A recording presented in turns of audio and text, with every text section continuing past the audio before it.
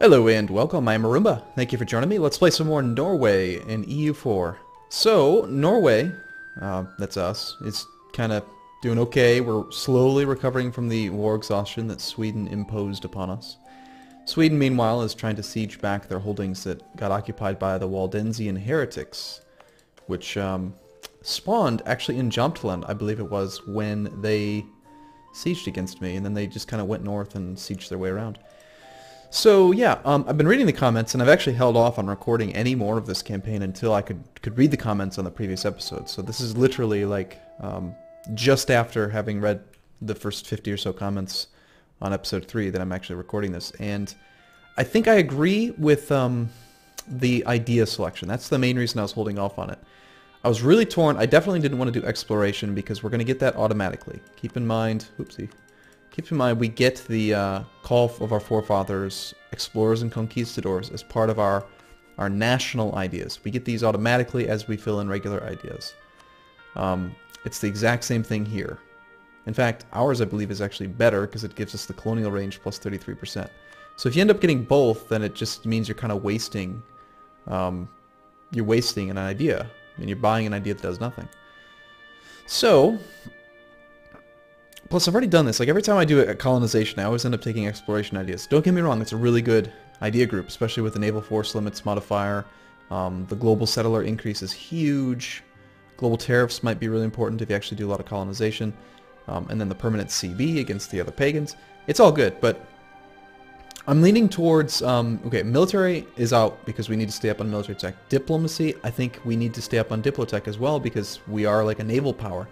So that really does leave like either economic ideas um, to potentially have more money, administrative ideas so that we potentially have more income, or sorry, more, more mercenaries, lower costs. We can actually like use a small amount of money to overpower our our overlord. Um, possibly even innovative. That reduces mercenary costs as well, tech costs down. Um, helps build up technology, like uh, military tradition and naval tradition. And in addition, uh, Innovative gives you a whole bunch of random events that can pop up that just give you bonus points and stuff. So we don't really need to stay up on Admin Tech. In fact, we got to Admin Tech 4 um, fairly quickly. However, I feel like level 5 is just so important. Level 5 is the one that unlocks the Temple and the Constable. So I don't know that I really want to want to hold off on getting that fantastic tax income plus one. So anyway, long story short is I haven't made up my mind yet. So let's just play. just play. I'm going to play on speed 3 for a moment because I, I don't remember as much about what's going on. It's been a few days since I played last. So we're currently culture converting this uh, province up here. That's going to get rid of some of the revolt risk. It's going to help increase our income as well. Should also increase the manpower efficiency. Interesting, so feudal monarchy gives us the plus 10%, taking us to 77 overall. Cool, I really, really like that change. There's so many good changes in this beta patch, or 1.5, effectively. I'm, I'm, I'm expecting within the next few days, as I play this, that it's going to actually change over to 1.5. Because the, the patch was announced, um, well, like two or three weeks ago. And this is the second iteration of the beta patch, so um, a lot of people were kind of pulling for expansion ideas, which gives us the colonist. Um, the merchant could be nice. Global settle. It's like a, a neutered version of exploration, um, except that it gives you more diplomacy relations, uh, shipbuilding time, and then uh, the global trade power thing. And then it allows you to expand into Asia, which I don't know if we're going to actually do that. so, we were trying to improve relations with people that could support us. And there was a couple, there were a couple really good comments as well. Do we get this now? I guess we do. It doesn't really exactly do that much for us at the moment. I mean, like, I really want to unlock the new ships. But that's a long way off. Level 9. Maybe we do take a Diplo idea. I mean, trade efficiency would be nice, but we really don't have that much. I don't know. I don't. I just don't know. Just so many decisions to make. Anyway, Some people are making some good comments. The problem with trying to get to the Teutonic Order or the Livonian Order involved in our war is that they're just going to get smashed by Poland and Lithuania. Poland is um, allied with Denmark, so when we declare our independence, Denmark's going to call Poland in.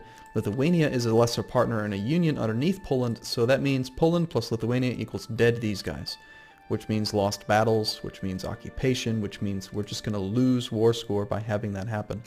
Whereas, on the other hand, I suppose if um, if they're not involved, then they'd probably ask for military access through Novgorod, um, and then they just wander wander up and siege us directly. So we really need like a bigger ally, like maybe Hungary. Hungary could probably take on Poland. And if we really got lucky, maybe even Austria. Neutral attitude towards Denmark. Let's see. Let's find Denmark's enemies. Novgorod is one. Well, Novgorod usually gets beaten by Muscovy, so I don't expect them to be very strong. Scotland is their enemy.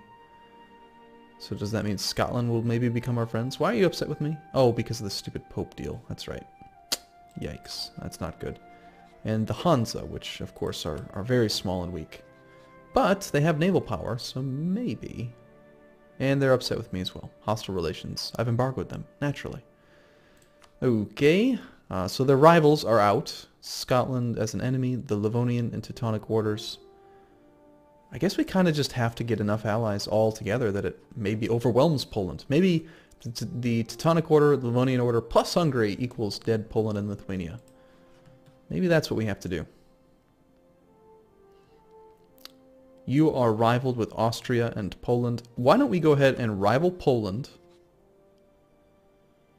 and get the friend of, like, the enemy of enemy bonus with Hungary? Because we're, in, we're going to end up at war with Poland eventually. If we declare war on Denmark, we end up at war with Poland. So we might as well rival them. Um, I think that makes sense. We're going to want to improve relations with Hungary. Uh, improving relations with Scotland doesn't really seem... Well, I guess it, it kind of does. If we could get Scotland to stop being all pissy with us, then they're a natural enemy of... They are a natural enemy of Denmark. So that would be good. England, on the other hand, even though they have been fully improved, they, they are just not willing to be friends with us. They're not allied with Denmark, but they are friendly. We'll see if that changes at all. The other thing we could do is try to become enemies with Austria in order to help out with Hungary. I think not, though. You're working on the Livonian Order. The Livonian Order is close to being willing to support us. Okay. All right. I think I got it. I think I get it. I think I know what we're going to do. Let's keep thinking about this ideas thing. See, the problem, like, the reason I'm considering not doing dip diplomatic tech again now is that, let's say we do Diplotech and we build, want to build up the local trade power. Well, all of our trade power, almost all of our territory is in the North Sea. The North Sea, um, we can't collect from. We have to transfer trade power from here. Um, because the North Sea is, a, it's like a sea zone. We, we end up funneling the trade into Lubeck, which we only have one building. Two, I guess. Well, no. Okay, we own this. So we have two, two provinces that we could build stuff that's going to increase trade power. End of the day, we end up with a marginal increase in our trade power. And so what? Like if we really want to dominate trade in Lubeck, I think we're going to do it with ships, not, not province upgrades. Which makes me think, okay, well why don't we spend, why don't we go for something that improves naval force limit, for example? Grand Navy. And now we can build an army of light ships that are really powerful in combat and then use those to dominate our trade node. Even further lower trade costs. It's, this seems really appealing to me. I mean, expansion ideas, don't get me wrong, that one seems good too, but...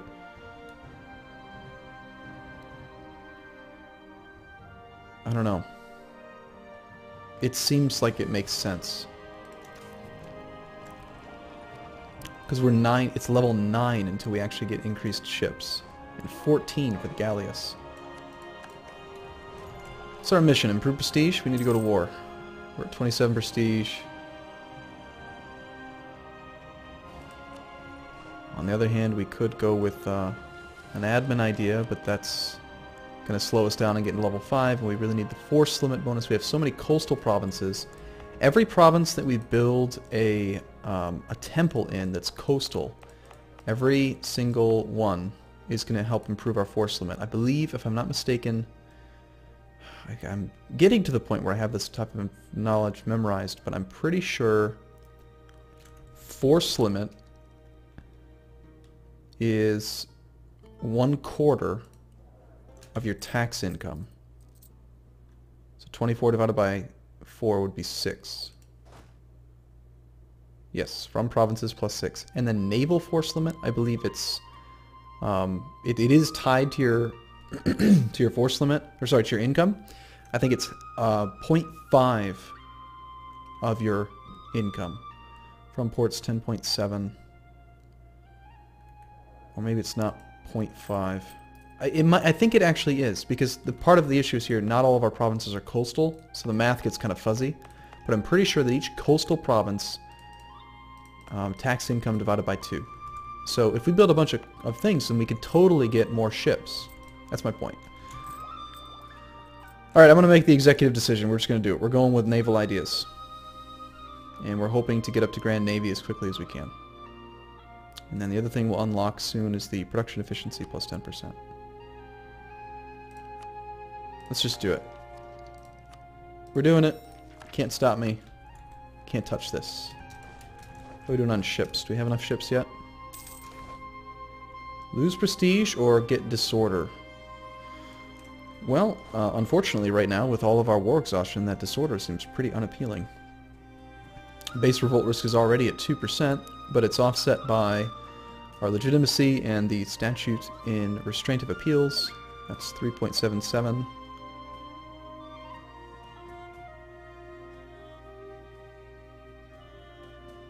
Okay. This number would be so much more useful if it showed tolerance on this screen instead of just on this screen. So essentially, I have to keep, since all of my land is the right religion, we need to keep base revolt risk below 4.9.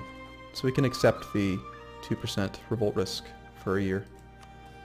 That'll update to 3.82, but we should still have 0% in every province. Good, good. We don't want to get rid of our prestige, not our juicy, delicious prestige. Oh, and my uh, diplomat, which I completely forgot about. Hey, enemy of enemies already ticked up. Wow, that was quick. Improve relations with you, yes. The Livonian Order. Closer.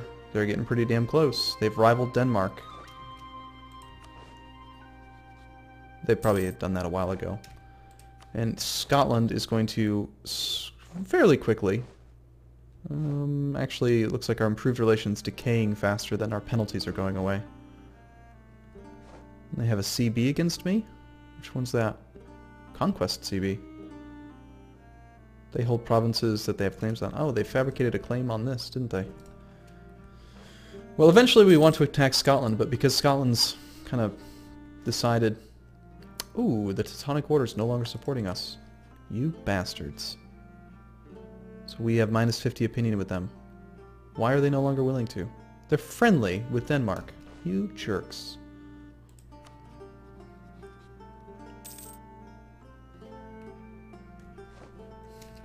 It might it might just come down to we only can get support from people that have en become enemies with this guy. Maybe we do have to chum up with Scotland. More so than these guys.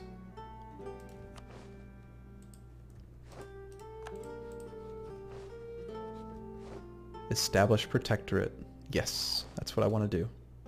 I just want to, just out of the blue, let's turn Scotland into a protectorate. That seems fair. We're almost up to level 4 military tech, which is nice.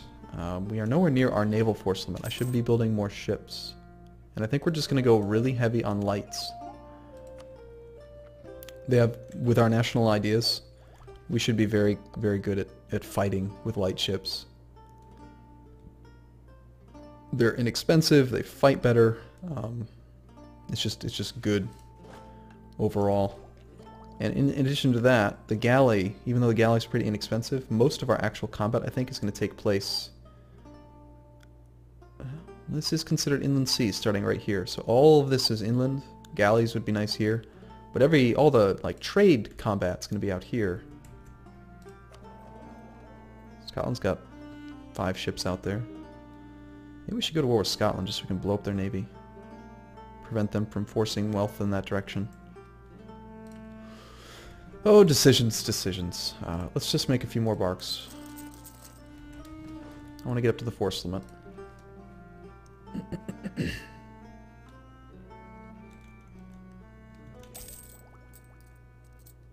other thing we could consider at some point is just going deeply into debt. That's the other way to win the war. Fortunately, though, I was reading up on it as well, and I am I'm fairly certain that um, the AI cannot annex players. So I don't think Denmark can actually annex us. I know they cannot inherit us, for sure, but I'm also fairly certain that they can't just annex us. And if they did, I wonder if it would actually like show a progress bar somewhere. Who knows? I feel like we should probably have the army all together as well.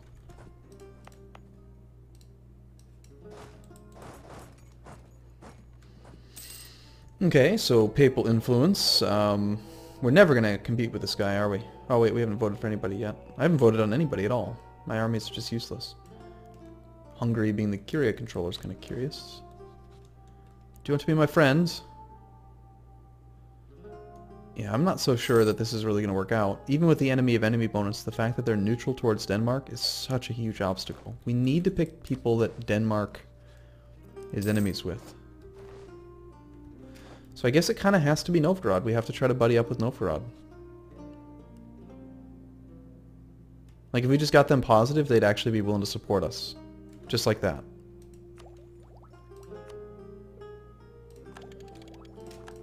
So yeah. Let's let's totally flip our focus. Hungary's just not going to matter. I apologize if I don't seem like I know what I'm doing. It's because I don't because I've never played as a, a country that starts out underneath another country. So I just haven't had a chance to really experiment with how do you get it to go away.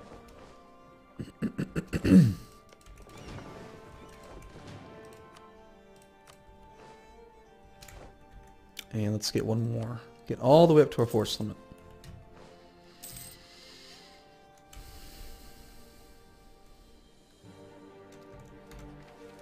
I do think that war would be good if if possible, just to get get get that mission complete, get the the extra.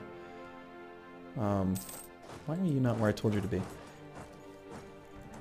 Basically, get the extra admin points from actually leveling leveling up, going to level one stability. Can we even declare war on anyone but our liege? I don't think we can. So and apparently I love them. That's sad. I don't I don't actually love you, Denmark. I hate you. I think you're ugly and I I want to I want a divorce. We have we are a subject country. It is not up to us. All right.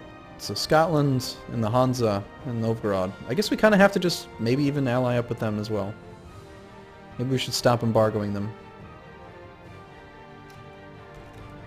I mean, our income from trade is not that significant. If I stopped embargoing them, it's not going to be the end of the world.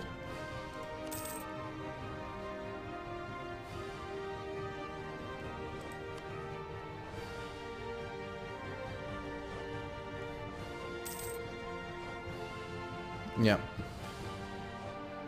Hey, some people were so devout in their religion that they set out to help the poor and heal the sick. They were often called saints for their acts and were sometimes even believed to perform miracles.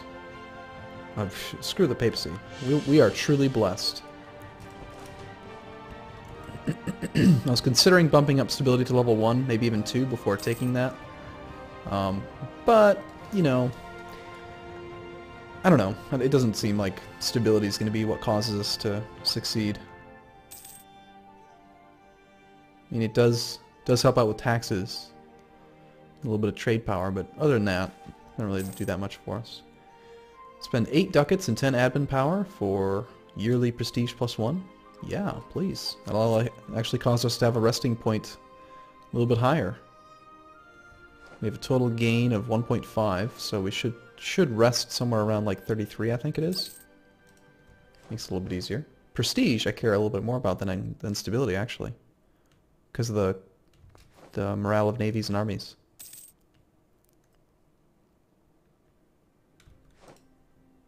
So yeah, okay. Well, I'm going to take a break here. Thank you for watching, everyone. I look forward to seeing you in the next video. See you again soon.